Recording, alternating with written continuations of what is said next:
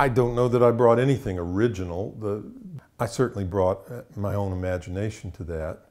Just what the DeFeo murders were and how they unfolded. I don't think it was anything profound. I simply tried to picture a family in a state of, if not misery, then unhappiness. A domineering father, kind of in an old fashioned Italian mode where everybody else was subservient to him, and in this case, he was an abuser.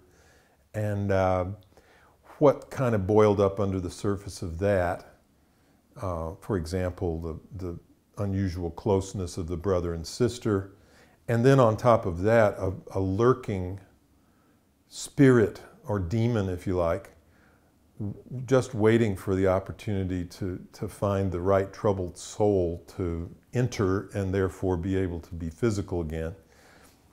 That's, that's what I brought to it.